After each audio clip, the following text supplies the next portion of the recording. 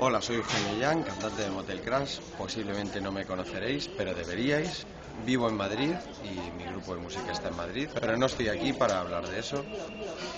Hoy he tenido una experiencia que ya es la segunda vez que, que la disfruto y que es súper recomendable.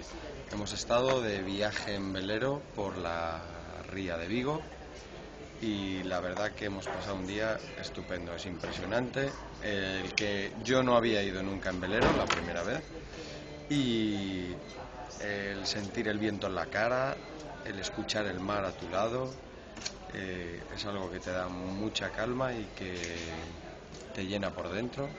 Luego además hemos eh, parado en una, en una playa, eh, bueno, hemos parado enfrente de una playa, nos hemos dado un baño, he podido bucear, hacer snorkel, que me encanta, y saborear algunos de los manjares de Galicia. Y la verdad que os lo recomiendo porque no os vais a arrepentir de hacerlo una y otra vez. Y además, si tenéis la suerte como hoy de ver delfines, eh, ya es lo máximo.